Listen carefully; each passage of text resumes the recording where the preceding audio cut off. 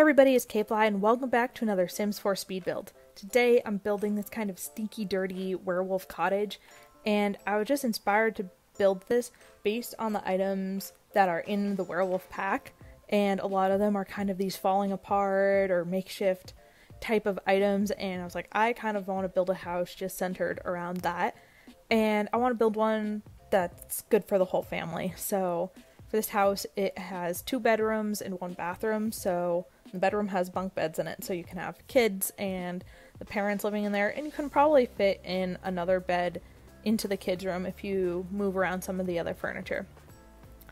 Um, this house is also super cheap. I think it's only 14,000 simoleons with the lot included.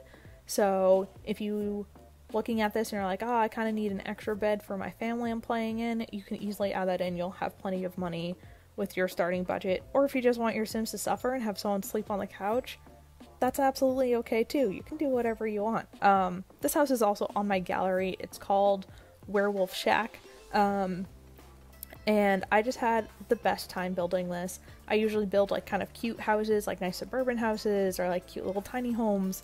So building a house that was just supposed to look as stinky as possible was such a different experience and it was just so much fun. I initially told myself, you know, you know, I'm just going to use the werewolf pack in the base game, make sure that everybody can download this, and then I kind of fell down a slow rabbit hole of, well, I kind of want to use the stinky counters from City Living.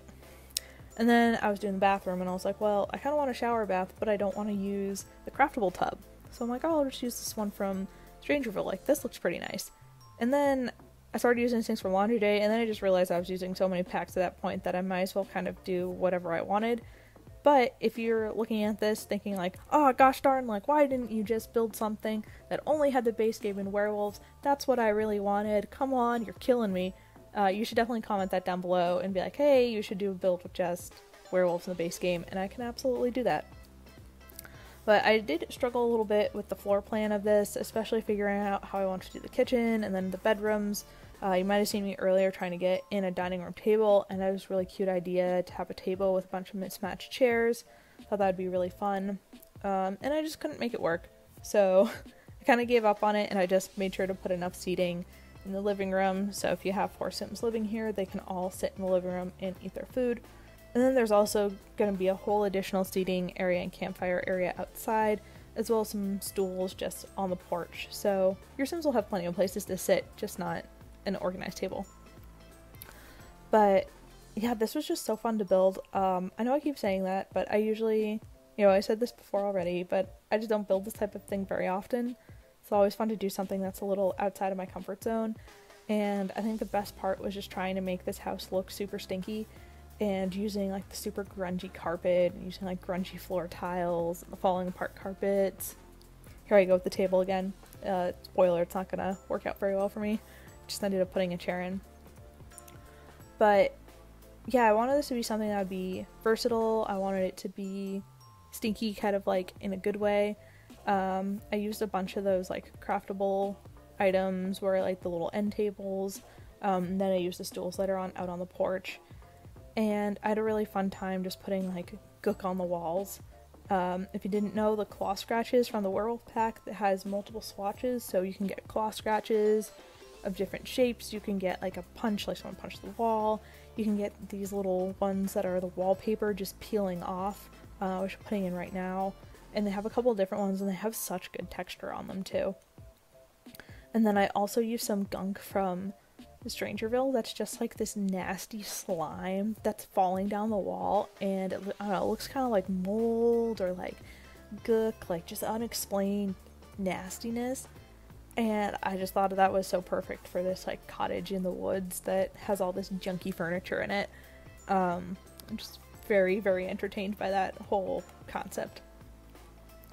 Now, this is the part of the build. This is my favorite part. Um, was building this whole campfire area and just putting down all this debug trash, and it was just it was just so fun to do. Um, I use a lot of stuff from Eco Lifestyle because they have all those trash piles that have like the broken fridges and the broken bathtub. And then I think the car is technically from Strangerville. Um, and that was it was just fun to like layer all the items together because I wanted to have like, a functional outdoor space, but also have it kind of suit the werewolf falling apart cottage vibe. Um, I used a bunch of those tire chairs and I didn't want to put too much junk inside the house because then I feel like your Sims kind of trouble walking around and it can just look too cluttered. But I had this vision of just this massive junk pile outside of the house and trash just kind of sitting around, and that's really what I tried to do here. And I think this is fun because you could either envision that all your Sims living here are just the most colossal slobs and like they've collected all this trash themselves. Or maybe you have a Sim who's just moving to Moonwood Mill for the first time and they buy this house as like a fixer upper and they're like, oh, this house has so much potential for the right Sim to move in. And maybe they decide that they're gonna fix up this stinky old cottage and like actually make it cute and like clean up all the trash and make it be a nice space to live in with their family. So I feel like there's just I don't know, I'm already having tons of ideas with my own game with how I'd want to play in this, and I'm really curious to hear how you think you'd play in a house like this in your own Sims game. You should definitely comment down below. Let me know kind of what you would envision doing in this house, um, and what you just think of this build overall in general. This is the first YouTube video I've made on the new pack. Um, and this is actually only the second house I've built using it. I built one just for my own game.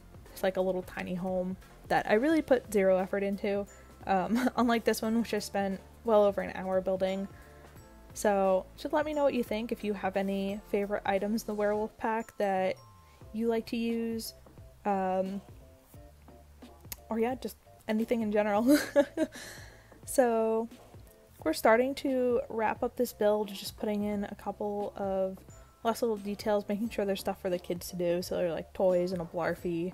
Um, sticking in some books so you can easily get the Moonwood Mill lore right at home. Um, putting in an indoor trash can because otherwise I feel like your house just, eh. It's kind of just nice to have one.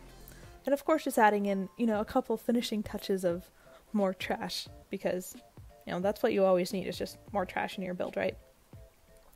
But anyways, as we're wrapping this up, I want to thank everybody for watching.